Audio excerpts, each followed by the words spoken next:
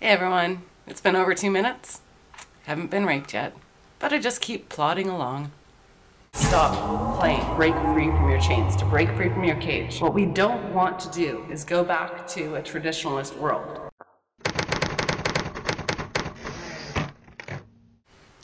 Hi, I'm Diana Davison. I've been talking about a book called Zen and the Art of Motorcycle Maintenance, and this is going to be the final discussion from it. I've taken two parts out of the book that I think uh, pertain to MGTOW, or men going their own way, and um, how they're doing something different that's important. So I'll explain a little bit about the first quote from it because um, in the story, uh, the author's alter ego, Phaedrus, is a teacher at a university.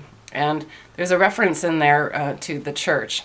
And this, uh, ha I'd have to read way too much from the book to explain it um, in the quote. So I'm just going to tell you up front the church is not actually a religious thing, it's a description of how um, reason and um, logic and education are within the building of a university, but the building itself is um, just the structure that houses it, and the Church of Reason is the um, the active pursuit of knowledge.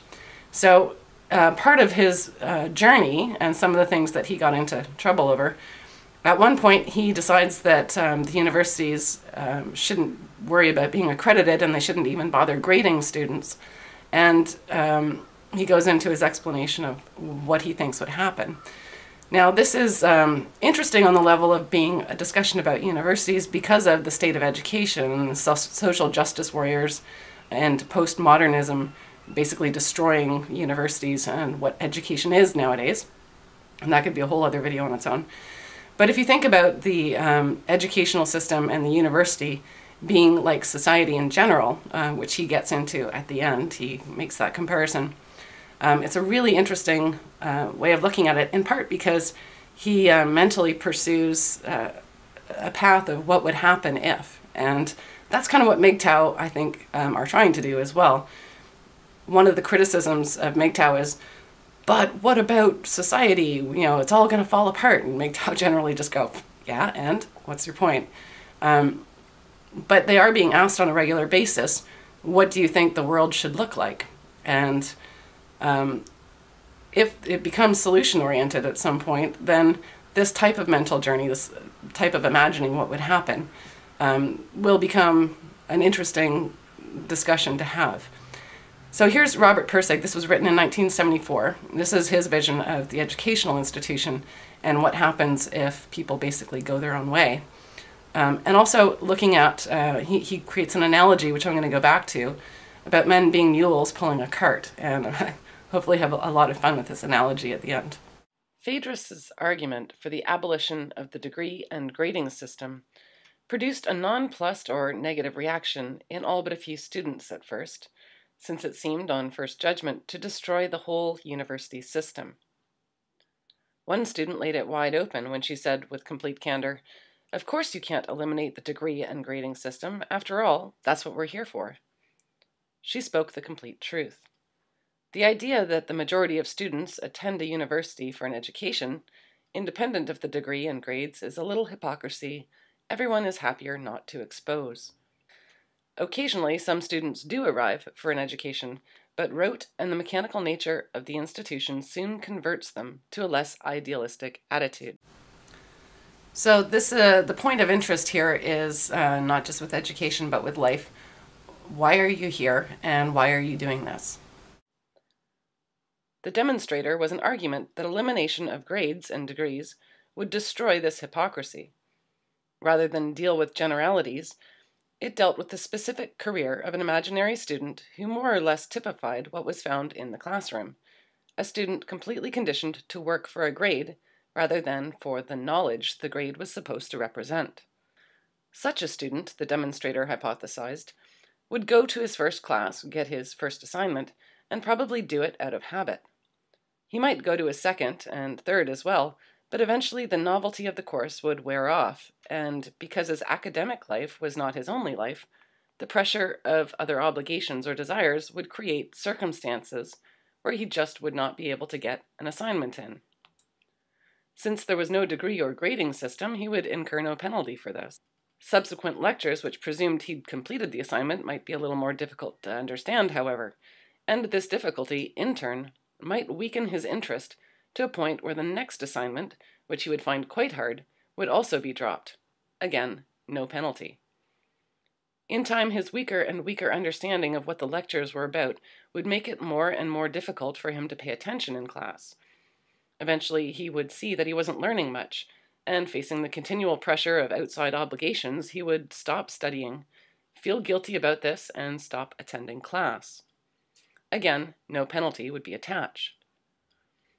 But what had happened? The student with no hard feelings on anybody's part would have flunked himself out. Good. This is what should have happened. Now, I see this as an accurate description of what happens in people's work lives as well. You start a job, you're enthusiastic, and then just as time goes by, you start to lose your enthusiasm for it, and then you're just going there because you need the money to pay the bills or to be the provider or, you know, for whatever other reasons you're doing it. But you're not doing it because you um, take any sort of pleasure in the work or get any sort of um, reward out of your main part of your life. You know, the nine to five, the uh, you know sometimes twelve hour days that you're putting in, you're not doing it for the right reasons anymore. If you ever were in the first place. He wasn't there for a real education in the first place and had no real business there at all. A large amount of money and effort has been saved, and there would be no stigma of failure and ruin to haunt him the rest of his life. No bridges had been burned. The student's biggest problem was a slave mentality, which had been built into him by years of carrot and whip grading. A mule mentality which said, if you don't whip me, I won't work. He didn't get whipped. He didn't work. And the cart of civilization, which he supposedly was being trained to pull, was just going to have to creak along a little slower without him. This is a tragedy, however, only if you presume that the cart of civilization, the system, is pulled by mules. This is a common vocational location point of view, but it's not the church attitude. The church attitude is that civilization, or the system, or society, or whatever you want to call it, is best served not by mules, but by free men. The purpose of abolishing grades and degrees is not to punish mules or to get rid of them, but to provide an environment in which that mule can turn into a free man. The hypothetical student, still a mule, would drift around for a while. He would get another kind of education, quite as valuable as the one he'd abandoned, in what used to be called the School of Hard Knocks. Instead of wasting money and time as a high status mule, he would now have to get a job as a low status mule, maybe as a mechanic. Actually, his real status would go up. He would be making a contribution for a change. Maybe that's what he would do for the rest of his life. Maybe he'd found his level but don't count on it. In time, six months, five years, perhaps, a change could easily begin to take place. Would become less and less satisfied with a kind of dumb day to day shop work, his creative intelligence, stifled by too much theory and too many grades in college, would now become reawakened by the boredom of the shop. Thousands of hours of frustrating mechanical problems would have made him more interested in machine design. He would like to design machinery himself, He'd think he could do a better job. He would try modifying a few engines, meet with success, look for more success, but feel blocked because he didn't have the theoretical information. He would discover that when before he felt stupid because of his lack of interest in theoretical information, he'd now find a brand of theoretical information which he'd have a lot of respect for, namely mechanical engineering. So he would come back to our degreeless and gradeless school, but with a difference. He'd no longer be a grade motivated person, he'd be a knowledge motivated person. He would need no external pushing to learn. His push would come from inside. He'd be a free man. Now, I find it interesting to consider the supposed value that society places on freedom. And we've designed our whole democratic political structure to support individual freedom. And yet, when you really look at it, uh, society is telling you that they want a mule. They have no interest in your personal freedom. They've given you the tools, uh, which are actually being taken away a little bit at a time, um, starting with freedom of speech and so on. But um, they espouse this ideal of uh, freedom of the individual within society, and yet everything about the way our society is constructed and the pressures within it put upon men really just says, shut up, you're a mule. All right, now I note in there he talks about not being a mule. He talks about being a free man who's doing what you want to do, and that's what the next quote is going to um, discuss what you want to do and doing what you like. Uh, but he also talks about when you go into the hard knock school of life that um, you become a useful mule. So I just want to point out that that is a little bit of a glitch in, in the storytelling here. That uh, the idea is to not be a mule at all. And uh, I think that the interesting point of that um, part of the book is the discussion of why you're doing what you're doing and looking at why you're doing those things and really soul searching as to where you got these ideas about what you like. And that's what this next quote is about. Why should quality be just what you like? Why should what you like be just? What did just mean in this case? When separated out like this for independent examination, it became apparent that just, in this case, really didn't mean a damn thing. It was a purely pejorative term, whose logical contribution to the sentence was nil. Now, with that word removed, the sentence became quality is what you like. And its meaning was entirely changed. It had become an innocuous truism. He wondered why that statement had angered him so much in the first place. It had seemed so natural. Why had it taken so long to see that what it really said was, what you like is bad? Or at least inconsequential. What was behind this smug presumption that what pleased you was bad, or at least unimportant in comparison to other things? It seemed the quintessence of the squareness he was fighting. Little children were trained not to do just what they liked. But, but what? Of course, what others liked. And which others? Parents, teachers, supervisors, policemen, judges, officials, kings, dictators all authorities. When you are trained to despise just what you like, then of course you become a much more obedient servant of others, a good slave. When you learn not to do just what you like, then the system loves you. But suppose you do just what you like. Does that mean you're going to go out and shoot heroin, rob banks, and rape old ladies? The person who is counseling you not to do just as you like is making some remarkable presumptions as to what is likable. He seems unaware that people may not rob banks because they have considered the consequences and decided they don't like to. He doesn't see that banks exist in the first place because they're just what people like, namely providers of loans. Phaedrus began to wonder how all this condemnation of what you like ever seemed such a natural objection in the first place. Soon he saw there was much more to this than he had been aware of. When people said, don't do just what you like, they didn't just mean obey authority. They also meant something else. All right, now, one of the things that men going their own way encounter a lot in the comments section and uh, elsewhere in, in, external criticisms is uh, accusations of selfishness, of uh, abandoning the cart, the in the mule and cart scenario, and what about the children? And what about society? It's all going to crumble. You know the, human race will cease to exist if you stop breeding all of this um, these demands that are being put on men to stop thinking about what it is they want what it is that makes them happy and uh, demanding that they put on the, the harness again and get back to pulling that cart so in this analogy i want to have fun with this myself a little bit but uh, basically i want to encourage everybody else to think about all the different roles in this uh, mule and cart scenario. What you have is, um, you know, man is the mule, he's pulling the cart, and the cart is, you know, society. And women are basically inside the cart uh, with their children. And it, it actually increases, you know, the weight of the cart, it makes it harder for it to pull, and the women are in this cart going, why are we going so slow? So most women are actually still in the cart. Some of them have gotten out and they said, well, I'll help you pull the cart, but they basically aren't pulling their weight very much. And then they brag about how they're so cool because they're pulling the cart with you.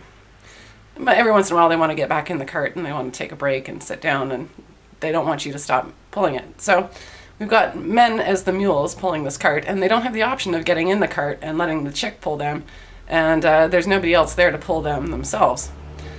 So, you know, visually, I picture a, a long road down a you know a desert kind of path, and there's this guy all on his own pulling a cart with some chick sitting in it, popping out BBs, right? And uh, that cart, one of the questions you can ask is, why are you pulling the cart in the first place? Well, I think there actually is um, a good reason to be in motion because that's, you know, part of the thing that makes being alive interesting is that you create a goal or um, come up with something you'd like to accomplish, which is the journey. Um, but then, you know, men are innovators, and so you may start out with a cart but, you know, we've got airplanes and such now, so you can create a different kind of vehicle and try to accomplish your goals. One of those goals is trying to come up with new, better forms of carts. And it's not that um, you don't want to be moving forward, it's not that you don't want to be actually doing something. But the reality is that you start doing this thing, and then all of a sudden a bunch of people pile into your cart and they want a free ride. so, um, I see men going their own way as people who have unhitched from the cart because that cart got overloaded with people who were freeloading and they're walking away. And some guys are just walking away going, fuck the cart. And other people are saying, you know what? I'm going to come up with a something better than a cart. And, you know, you've got uh, a bigger analogy of the mule and cart where you've got multiple men pulling a bigger cart that is your society um, your country that you live in, your government telling you that you must pull this cart because this cart is of importance to you. Um, it's the thing that makes you a free mule while you're harnessed to the cart, and uh, and they're whipping you forward, and you believe in that cart for whatever reason. That's the thing that I am really impressed with with MGTOW, is that they're not just saying, you know, I'm a mule. Why am I pulling this cart? Fuck this shit. They're actually going, how did I get attached to the harness pulling the cart? And uh, so, anyways, I think there's a lot of interesting um, analysis that you could do with that analogy, trying to figure out, you know, what is the cart? Where did it come from? Is it my cart? Is it society's cart? Who's in my cart? How many people am I pulling? Why am I doing it? And, you know, do I want a cart? Do I want to go down that path in the first place? I think ultimately, if you don't go down that path, if you're not moving forward in some way, then why are you alive, anyways? So there is a journey to be taken, but it's up to you to decide what journey you want to take. If you want to take anybody with you on that journey, and if you do, they better be pulling their weight. They better be doing something other than just whipping you and uh, sitting in your cart asking you why you're not going faster. So have fun with the analogy, and uh, hopefully that inspires some other people to think about that as well. Now, to finish off, I'm actually not going to do a rape joke at the end of this. I had some questions because of recent comments I've made regarding whether or not it's useful to fight feminism and uh, explaining why I think it's not. It's futile to fight feminism. So the title of my, the, the name of my channel being Feminism LOL, somebody suggested I change the name of my channel. So I'm going to give you a couple of options. Um, my, my stance against feminism and why it's futile to fight it I don't really think um, is problematic for the name of my, my channel because I'm really just laughing at them. And by using that name, I have feminists showing up thinking this might be a feminist channel, and I have anti-feminists showing up who are then asked to look a little bit deeper into the issue. So I actually kind of like having that. So my alternate options are, one, feminism,